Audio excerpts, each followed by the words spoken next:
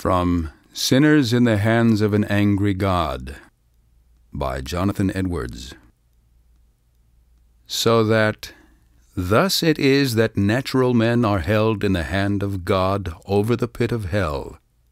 They have deserved the fiery pit, and are already sentenced to it. And God is dreadfully provoked. His anger is as great toward them as to those that are actually suffering the executions of the fierceness of his wrath in hell, and they have done nothing in the least to appease or abate that anger.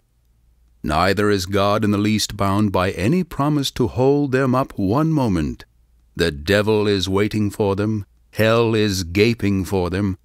The flames gather and flash about them, and would fain lay hold on them and swallow them up.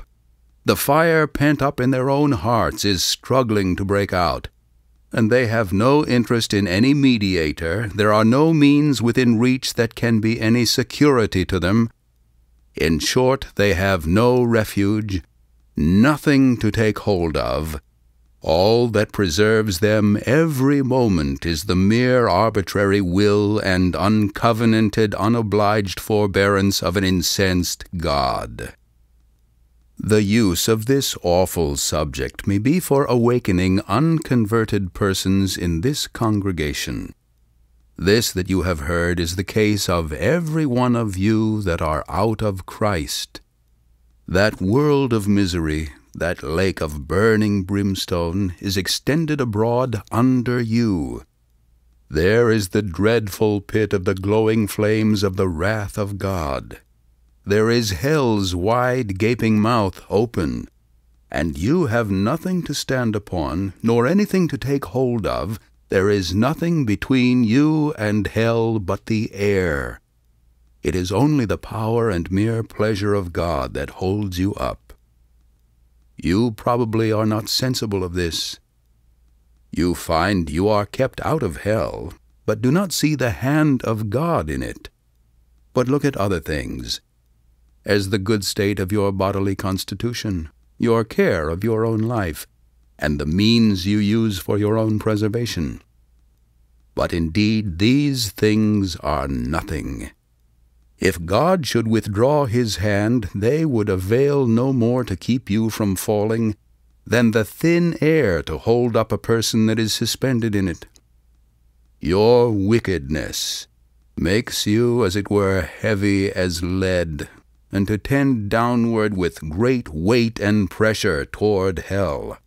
And if God should let you go, you would immediately sink and swiftly descend and plunge into the bottomless gulf. And your healthy constitution, and your own care and prudence and best contrivance, and all your righteousness would have no more influence to uphold you and keep you out of hell than a spider's web would have to stop a fallen rock.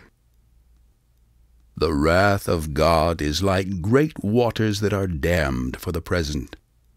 They increase more and more, and rise higher and higher, till an outlet is given, and the longer the stream is stopped, the more rapid and mighty is its course when once it is let loose. It is true that judgment against your evil works has not been executed hitherto. The floods of God's vengeance have been withheld. But your guilt in the meantime is constantly increasing, and you are every day treasuring up more wrath. The waters are constantly rising and waxing more and more mighty, and there is nothing but the mere pleasure of God that holds the waters back, that are unwilling to be stopped and press hard to go forward. If God should only withdraw his hand from the floodgate, it would immediately fly open, and the fiery floods of the fierceness and wrath of God would rush forth with inconceivable fury, and would come upon you with omnipotent power and if your strength were ten thousand times greater than it is, yea, ten thousand times greater than the strength of the stoutest, sturdiest devil in hell, it would be nothing to withstand or endure it. The bow of God's wrath is bent, and the arrow made ready on the string. and justice bends the arrow at your heart and strains the bow. And it is nothing but the mere pleasure of God, and that of an angry God, without any promise or obligation at all, that keeps the arrow one moment from being made drunk with your blood. Thus, all you that never passed under a great change of heart by the mighty power of the Spirit of God upon your souls, all you that were never born again, and made new creatures, and raised from being dead in sin to a state of new and before altogether unexperienced light and life, are in the hands of an angry God.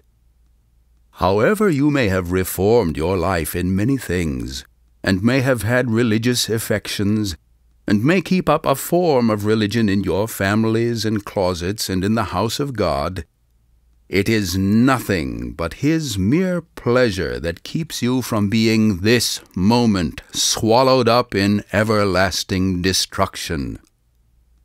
However unconvinced you may now be of the truth of what you hear, by and by you will be fully convinced of it. Those that are gone from being in the like circumstances with you see that it was so with them. For destruction came suddenly upon most of them, when they expected nothing of it, and while they were saying, Peace and safety. Now they see that those things on which they depended for peace and safety were nothing but thin air and empty shadows. The God that holds you over the pit of hell, much as one holds a spider or some loathsome insect over the fire, abhors you and is dreadfully provoked.